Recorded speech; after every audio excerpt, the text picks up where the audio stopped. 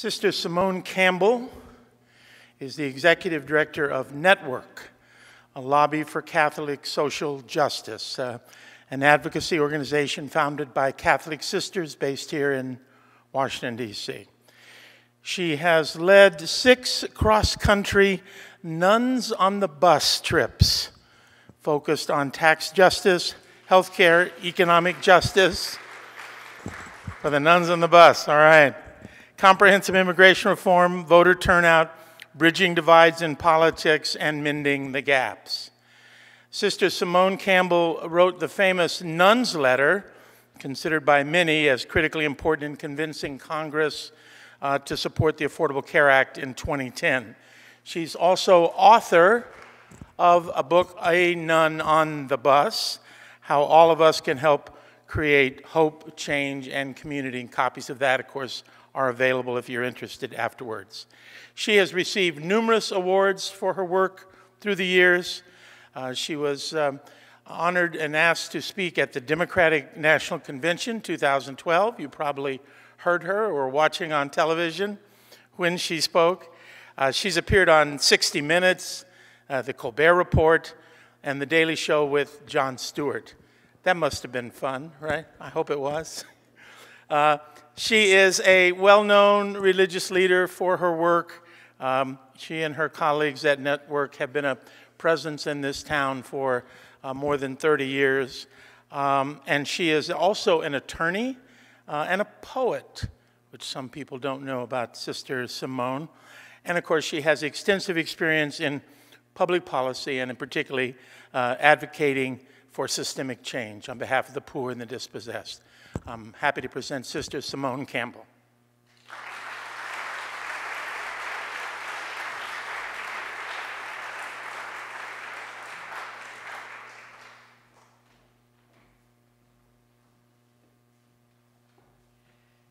Well, I have to say it's intimidating following the story of Dorothy Day.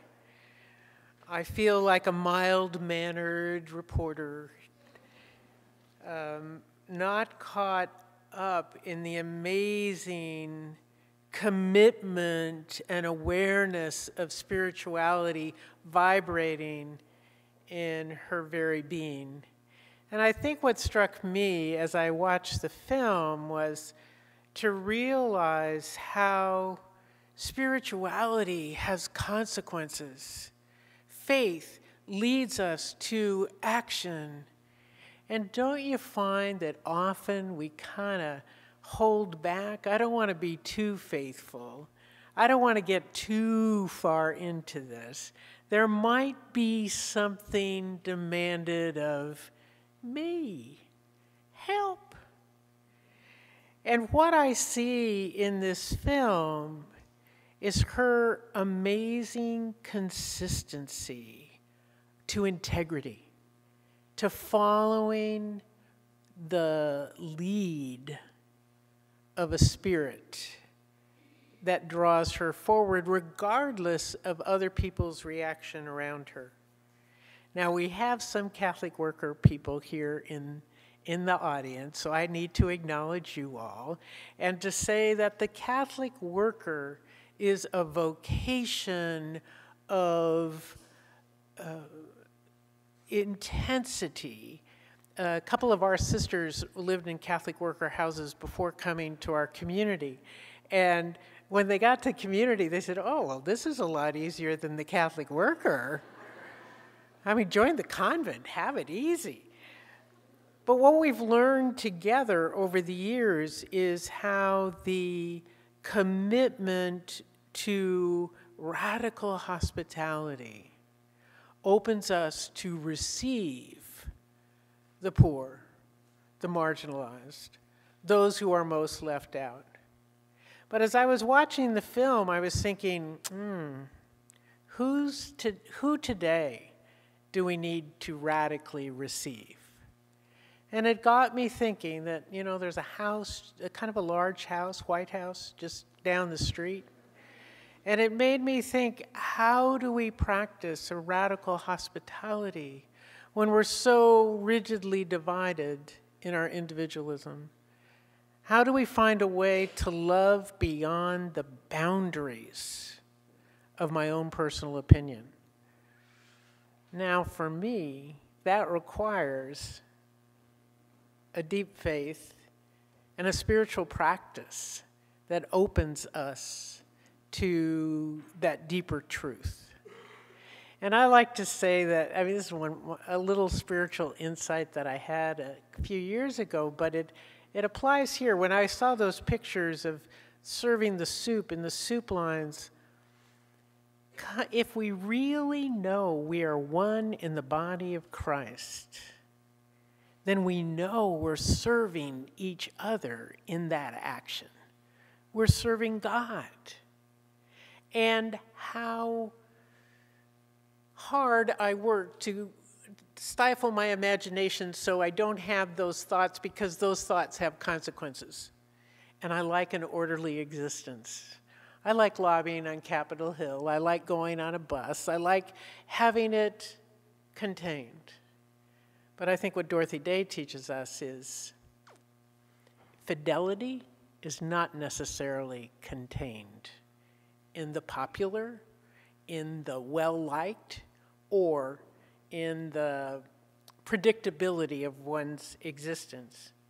So I'm, uh, I understand from Martin, I'm one of the few folks that think Dorothy Day should not be canonized. I think she shouldn't be canonized not because she wasn't a saint.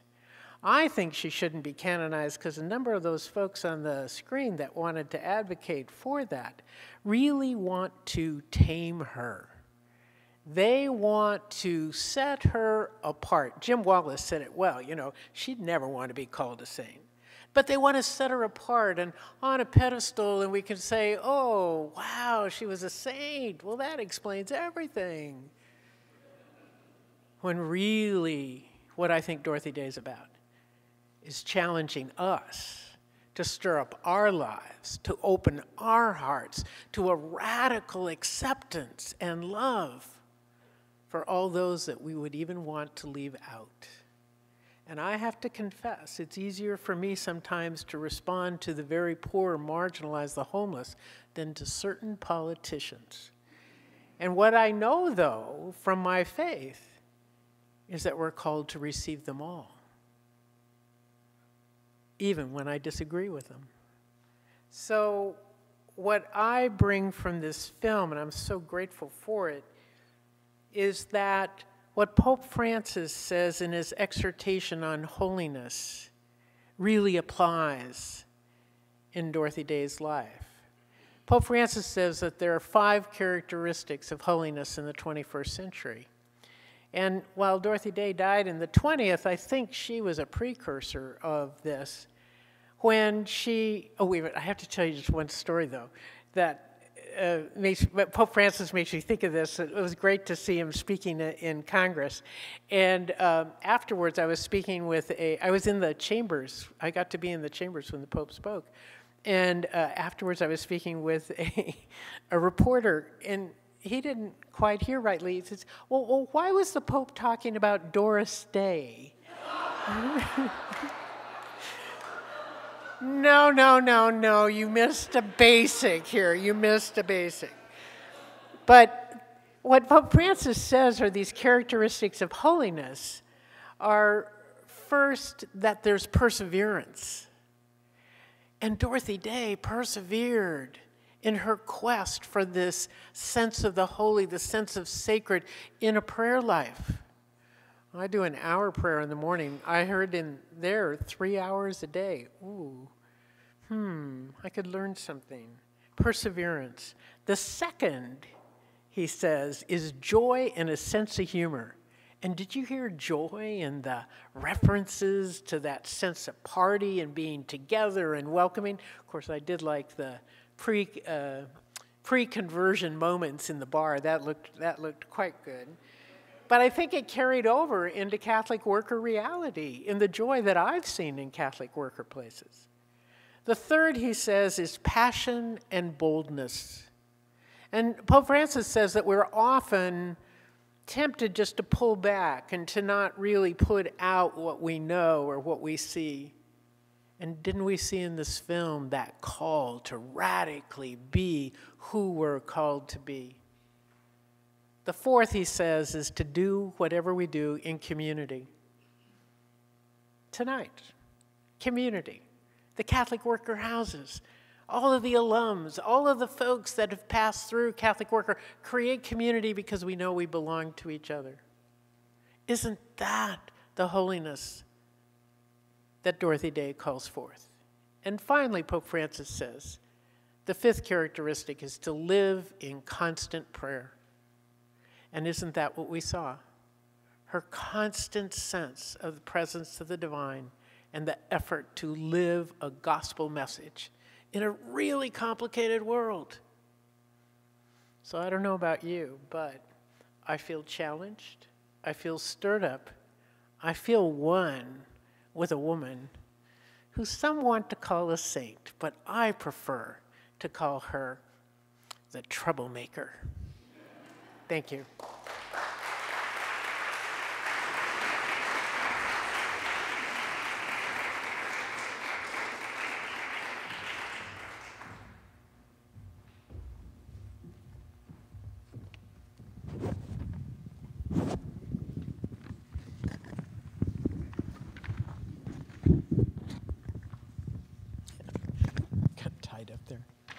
Up. So thank, thank you. Thank you all for staying too this evening to have a little conversation with this version of the troublemaker, Sister Simone. Um, I was going to ask you, um, you spend most of your life um, confronting Congress, Capitol Hill, gauging politics. And as much as I know you admire Dorothy Day, everybody asks me now as I travel around the country, what surprised you in making the film, Martin? And one of the first things that I have to admit is that after having campaigned for the right for women to vote, after having been arrested and put in jail and beaten for the right to, for women to vote, Dorothy Day never voted. Right. And, and how can. and, and when I've asked the granddaughters and everybody associated with Dorothy Day's legacy, there's no real comfortable explanation. They just said, well, she just never did. We think maybe it's possible she actually voted in local elections, but certainly never in national elections. And how can you be a really good anarchist and then still vote for the system? And it went back and forth like that. But she still, uh, you know, to her to her dying day, she never voted. How do you how do you rationalize that? How do you deal with that one? Um, well, I'm grateful that she's not in the 2020 election cycle where we need everyone to vote. But um, I, I think the, the consistency that I see in that is that she didn't pay federal taxes and did not want to be engaged in a federal system. And so for her, her line appears to be uh, the national control piece. And so she wouldn't want to be compromised as a part of that, because my hunch is uh, her candidates wouldn't win. And so and maybe she was just a sore loser and didn't want to open herself to that. I don't know. But the, the, the fact that she very consistently found that the federal policy was unacceptable to the Christian teaching and to what's going on. And some of my Catholic worker friends say, I got it. I got it. Yeah. Okay. So we have folks here. Would you folks who are associated with the Catholic Worker House here in Washington D.C. Would you stand up for a second so we can honor yeah, you for a minute. On, come guys. on, Kathy. There you are.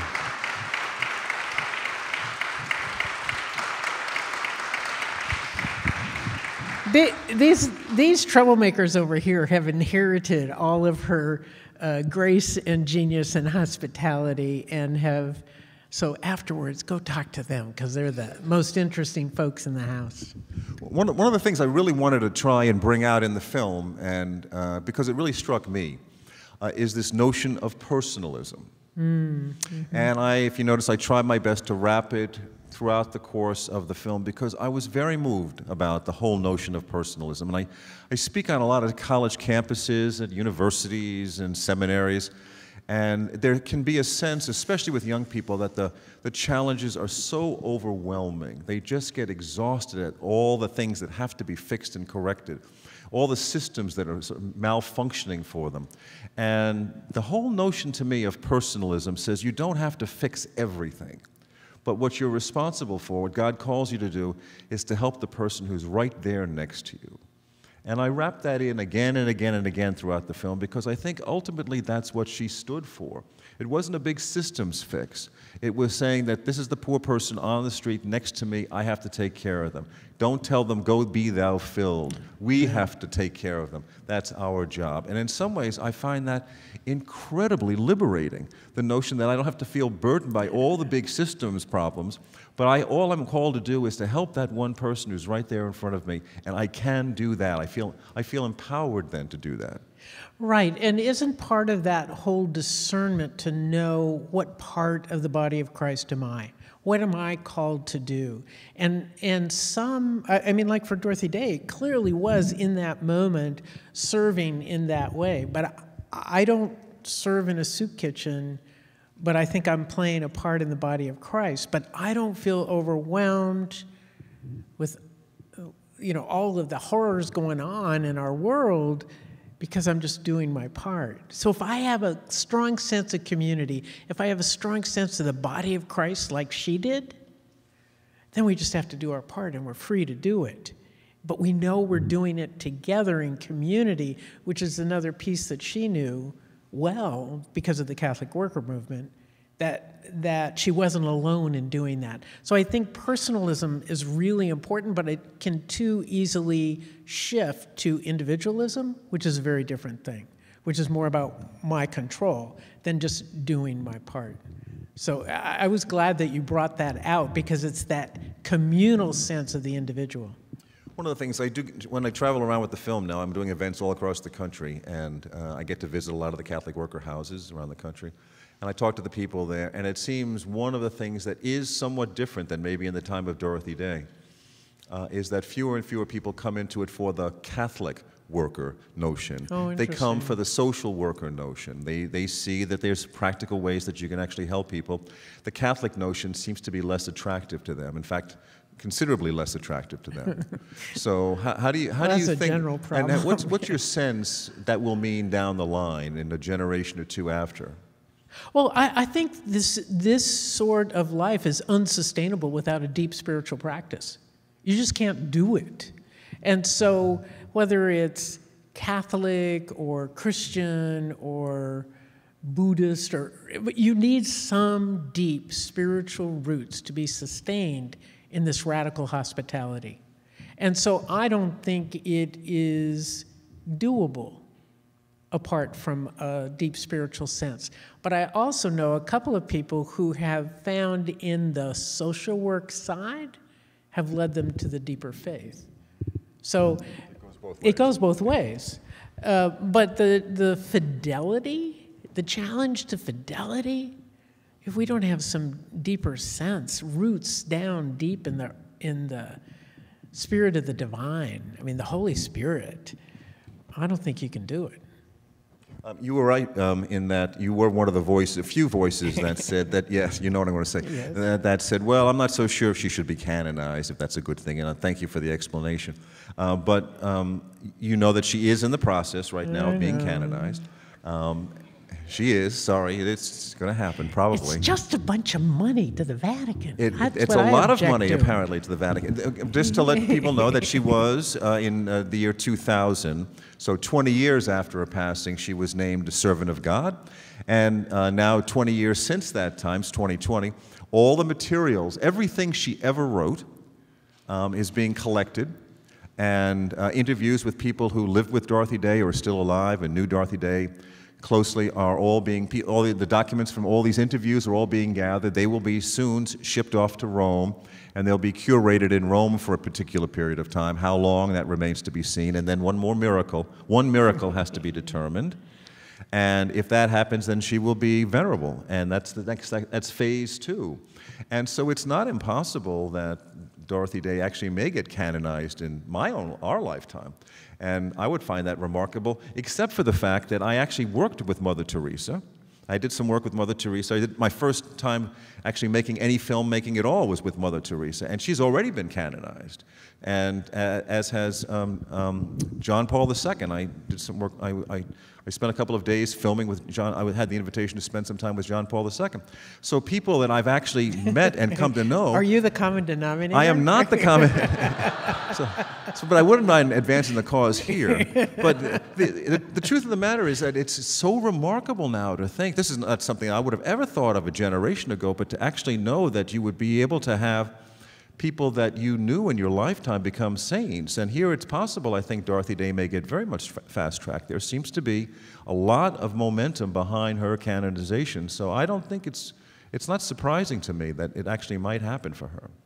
But what I found annoying is the ones that were proposing it in the film all seem to be, um, well, not all, but some of them are male clerics who think it's a great idea. And I, I, I think it's.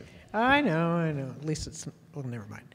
Um, but the, the piece that I think is more about, as I understand the political fight around this within the Catholic Church, it's, it's among the hierarchy, it's about prestige and having another saint from my area.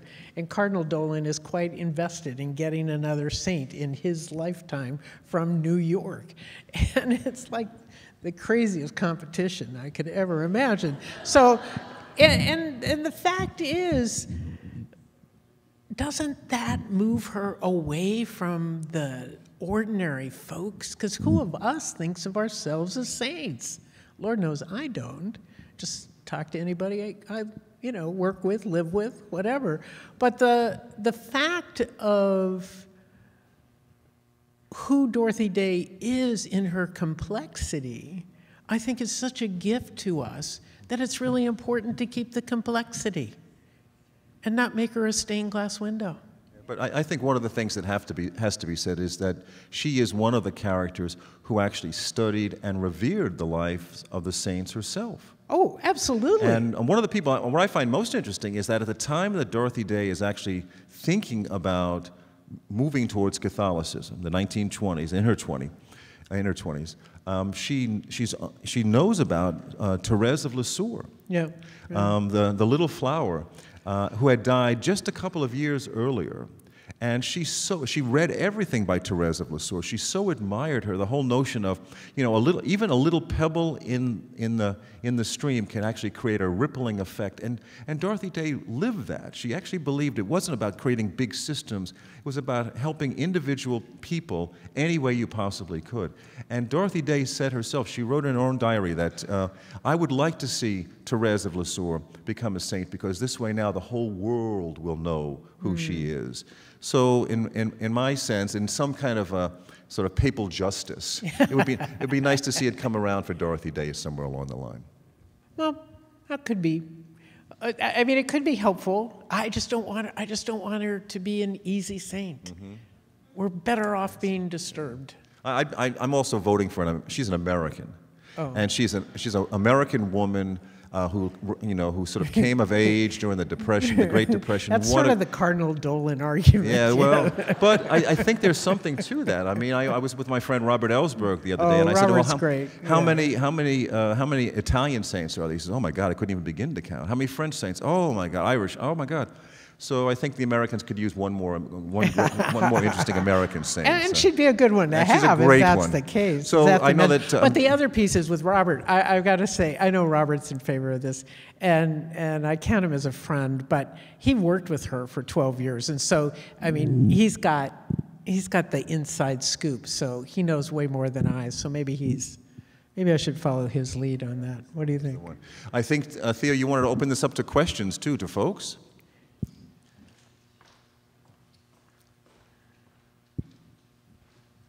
you have the hike up there. Uh, can I see you? Yeah, there you are. Yeah, just to continue the conversation, some of the questions were about uh, things you, uh, you touched on. There's one about this thing about private charity versus government responsibility. Um, she talks so much about not waiting for the government, et cetera. Any more understanding of how she balanced these things and the importance of both caring but saying that government does have a role? Did she make a point of arguing for that? Want to do it? Um, I, what I understand is that she thought that the first duty was in that gift of yourself. If the person is there, then you respond to the need, provide the soup. But as I understand where she was, that she didn't believe uh, that government shouldn't do it, but that the first place was individuals and individual responsibility, but it, that somebody in need, the need needed to be met somehow. And so I don't believe, at least in what I've read of her writings, she didn't oppose government program, but she didn't believe they were as effective as that one-to-one, the touch of the heart. And, and that's the piece. What, what, was, what was the saying? I jotted, hold on a sec. Uh, she talked about the genuine empathy. And her, she knew that genuine empathy comes people to people, not organization to organization. And that's what she advocated. But the needs are so big and we don't seem to be responding quite the way to meet those needs. So think there's also an historic reality here too, which is especially in the 1930s. Oh my gosh. America was in a terrible shape, Yeah. Mm-hmm. and the government was going to have to do something to step up and take some responsibility to help the masses of people. And this is what she really cared most about. She really cared about the tragedy that was happening to the massive number of Right. people.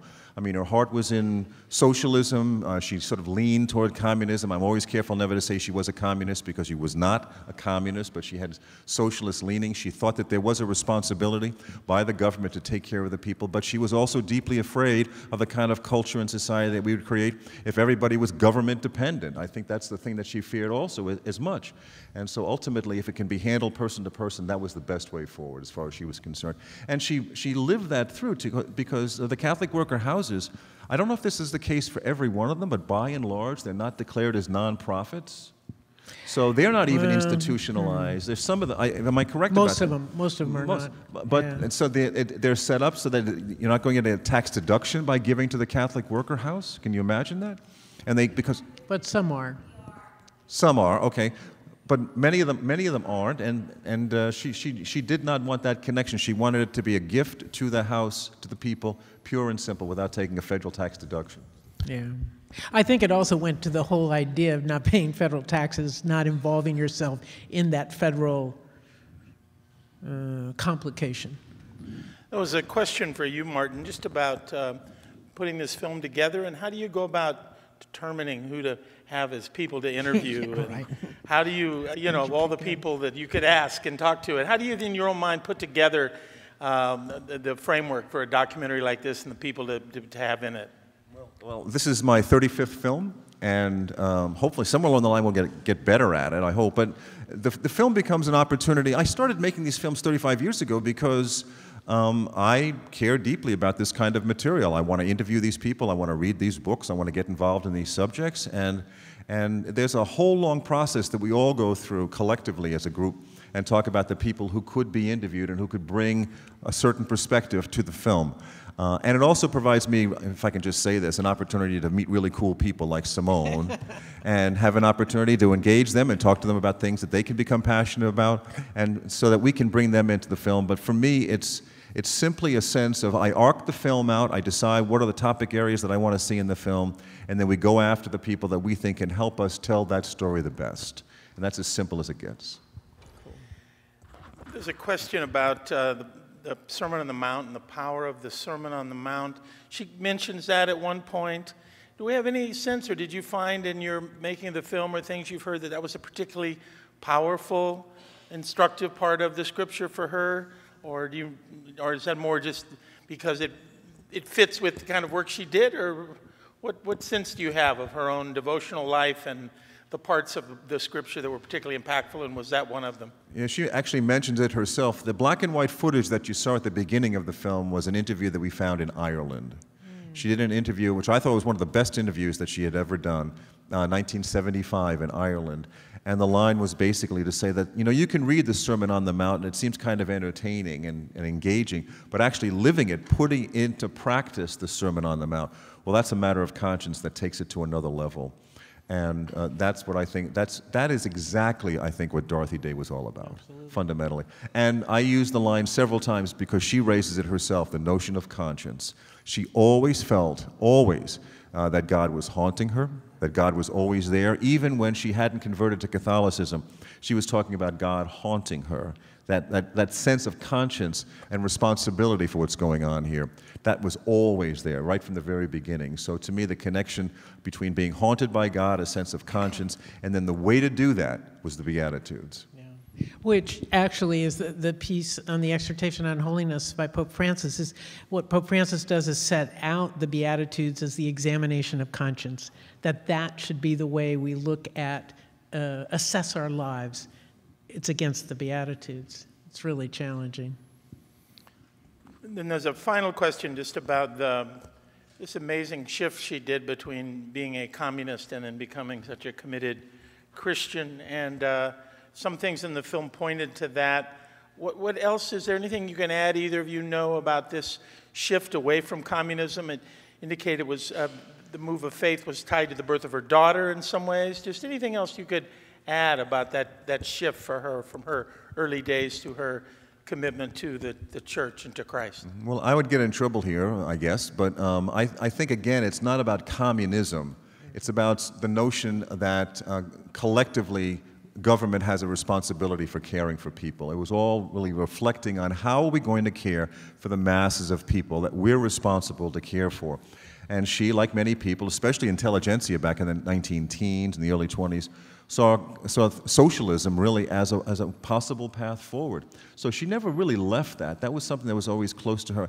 And to be honest with you, if you read the Beatitudes, if you listen to the, the Catholic social teaching, they're not all that far apart. Eh, because at the heart of it, it's about our response, our shared responsibility for each other, and the fact that we're meant to be community. We're meant to be social creatures. So socialism is about building on the fact that we do this together. It's not about me standing off by myself. It's about us, we, trying to make a way forward where everyone, everyone is fed clothed, cared for, loved, welcomed in that radical hospitality. So I think it was consistent all the way through. And really, when you look at the Catholic faith, that's the ultimate heart of it, is that we're communal, that we're connected, that we belong to each other and we owe a, a degree of duty to each other. It's a challenge. And religious life is one way to live that out, the Catholic workers another. But the daily life of Christians, of Catholics, is what it's about. Challenging, uncomfortable at times, but at the heart of it, life. It's life giving. And just a final question for both of you, um, if you just both briefly answer. What, as we close the evening, would you leave us with? Uh, Martin, you've been learning about her and making this film about her for some time. And, and of course, Simone, you know about her and have followed in many ways. What brief thought would you leave with us about the message from uh, Dorothy Day for us today, those of us who want to be engaged, particularly in uh, social activism for justice and peace? Well, that, that's what I was going to point to. I, the word Catholics come up a lot tonight. We're in a house of, we're in the Presbyterian Church. And I want to be really clear to say that um, that's, one of the, that's one of the remarkable things that's happened in the last number of generations, how people can look at a character like a Dorothy Day and see within her storyline how we're all called. Not, and it, it crosses over the faith, faith divisions, the silos that we put ourselves in in terms of denominations, and look at somebody like this and said, look, at she flat out saw Jesus Christ as the model that she was going to live by. The Beatitudes was the, was the direction, the roadmap for her to live her life, and that cuts across every particular particularity within the Christian world. And so I'm delighted that you, Theo, and, and Heather, and everybody would want to have this kind of a film here because I think she does speak to the big picture, which is Amen. that God calls us all to see the face of Christ in the people around us and those who are most in need. Amen. I, I, I totally, totally embrace that. And I think she evidenced in her service and in her writing that breadth of welcome. There was never a litmus test on the front door do you belong or don't you? Come in, come in. And it's that sense of welcome and wholeness that I think is desperately needed in our time now when we're so polarized, so divided, so torn apart. Maybe if we just take a little spark of tonight's learning of Dorothy Day's life and open our hearts and welcome people in and say, oh, would you like a bowl of soup? Or can I get you a cup of tea? Or how about a cup of coffee? What do you need? But it's that sense of welcome. Couldn't we change our world if we just had a little more welcome and a little less, mm, whatever the alternative is. Let us pray to the Lord. I think it's a great irony that uh, it's a great irony that you're calling it the Downtown Day Service Center. Isn't that an interesting thing? Absolutely. Not named after her, but it'll not help named us after her, remember but it that just- as we uh, it hear just seems to fit. Thank you. If we can have a round of applause for Martin and Sister Simone. Thank you.